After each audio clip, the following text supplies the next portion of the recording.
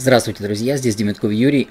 В своих видео я рассказываю о том, э, куда инвестируют люди, куда надо инвестировать, э, где надежные инвестиции и куда инвестируют богатые. А вот интересно, куда инвестируют бедные люди?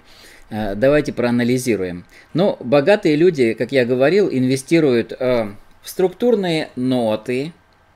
Это валютный инструмент, который дает повышенную доходность и достаточно высокую надежность. Структурные продукты, ну, э, это на порядок ниже, значит, там инвестиции, возможно, от 100 тысяч, от 250 в основном тысяч рублей можно инвестировать. Вот. Но это структурные продукты с защитой капитала. А, с небольшими деньгами можно инвестировать, я рассказываю, э, в облигации, в ОФЗ, например, уже доход выше, чем эм, в любом Сбербанке. Вот, э, можно инвестировать в корпоративные э, облигации, и я рассказываю о том, как это делать, и о том, э, как это делать, ну, с наименьшим риском. Вот. Ну и акции. Акции там уже э, доходность может быть намного выше, но э, тем не менее там надо разбираться, и я советую, опять же, модельный портфель, в который многие-многие люди подключились благодаря мне. А, максимальная доходность, которая была вот э, по этим рекомендациям, ну, скажем, это в акциях, и если уж говорить о надежных, более-менее инвестициях, это модельный портфель, который дал два года назад 34% там годовых а, за год, а в прошлом году 20% за год дал модельный портфель. Сейчас он пока с февраля месяца ну, опять же, в просадке, как и в прошлый раз, но э, доходности такие 20-30% годовых. И многие люди говорят, слушайте, ну не такие же большие доходности. И есть предложение в интернете. 30% в месяц. 20% в день. Можно сделать легко люди говорят, ну вы что, лохи, что ли? Вообще, значит, инвестировать в какие-то акции дурацкие, которые, значит, там и доходность-то не дают, а тут можно заработать за один день вообще море. И вот как раз э, эти предложения предназначены для бедных людей. И там тусуется очень много веселого народа. Форекс, э, бинарные опционы, какие-то хайпы, какие-то волшебные кошельки, криптовалюты, прямо сейчас все с ума сходят, говорят там типа вообще, вот, э, можно заработать бешеные бабки, вот, но о том, что когда я рассказываю про акции и прочее, бедные люди говорят такие, ну там же можно потерять, акции могут упасть, акции могут упасть, но потом они видят, что, блин, что-то не так, что, так сказать, акции это растут, вот, и надо вложиться там, где максимальный рост и вкладываются как раз вот в такие инструменты, где, которые дают максимальный рост, то есть э, Форекс, э, бинарные опционы и так далее, и так далее, и так далее.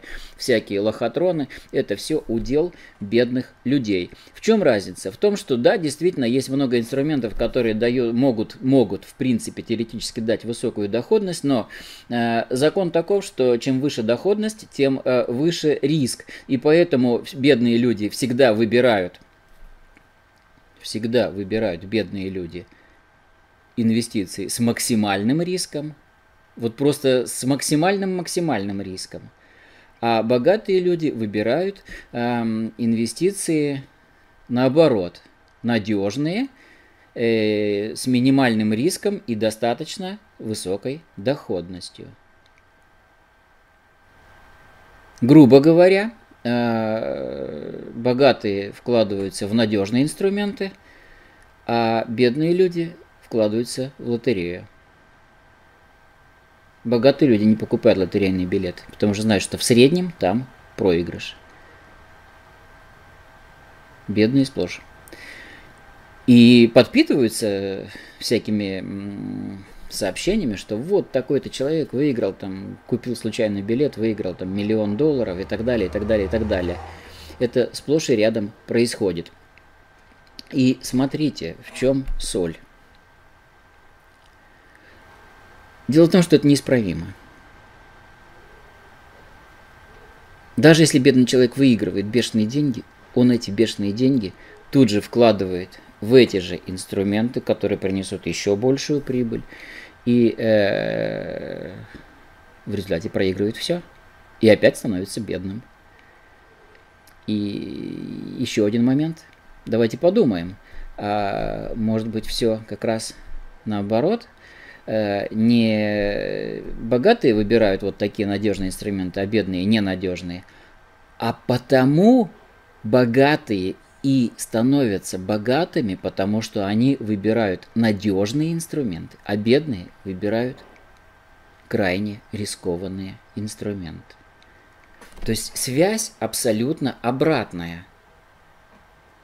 И бедные люди рассчитывают на очень быстрый выигрыш, я хочу быстро разбогатеть, это моментально, это легко, потому что вот я сейчас вложил рубль, так сказать, там купил лотерейный билет, и, э, выиграл миллион. Но Факт тот, что для того, чтобы стать богатым, для того, чтобы иметь много денег, никто не отменял законы. Надо работать.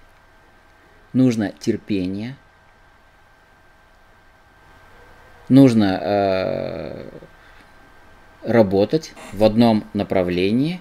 И самый лучший метод, вот я предлагаю все-таки начать, даже если у вас нет денег, вы как бы, ну, можно сказать, бедный, да, но я предлагаю начать именно с тех инвестиций, которые выбирают богатые люди. Для того, чтобы стать богатым, для того, чтобы было много денег, надо выбирать только надежные инструменты. Если у вас недостаточно еще много денег, вы, э, я советую вам инвестировать, открыть брокерский счет и инвестировать ОФЗ, если у вас будет чуть побольше опыта, я об этом рассказываю, как это сделать, э, покупать э,